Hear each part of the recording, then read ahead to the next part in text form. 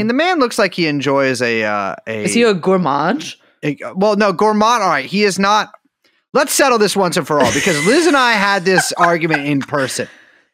If someone's a gourmand, Yung that means also was at this argument. Yes, well. yeah, yeah, true, true. Uh, a if someone is a gourmand, that implies a certain degree of corpulence. A foodie is a let's say Mm. health health conscious gourmand. So you don't Still- think a foodie is like a? Mm, I see. You think it's like not as decadent. A gourmand is somebody who eats their s- stuffed pig and then sucks their fingers afterwards. Your gla- the glaze still on your fingers is sucked off. Mm. Whereas Uh, a foodie is like a way more kind of like, kind of like denuded. The the technocrat gourmand, where it's The- like I'm just like distance and take a photo. The know? gourmand doesn't need to take a picture. The gourmand's eating. Yeah, That's the thing is the gourmand isn't there for the for the the, the lights and the glamour and the insta. The gourmand might not even have an Instagram. The Yeah, yeah, gourmand yeah. is just out there being like, "Your most decadent chocolate, please." That's like you- see. Yeah. I mean, the I- I gourmand, gourmand's got gout. oh my god, does the the gourmand's gout is so bad, and the gourmand is quick to tell you it's not from beer, brother.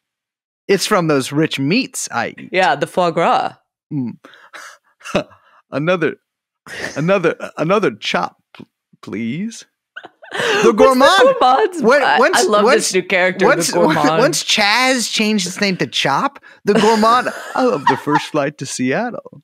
Is there is there meal service here? The gourmand is so hungry, and he gets there. He's like, "What?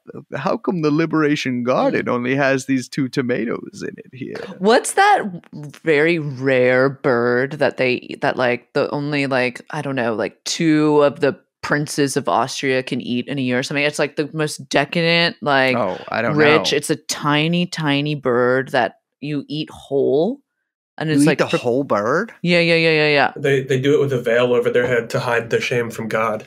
Yes, yes. My God.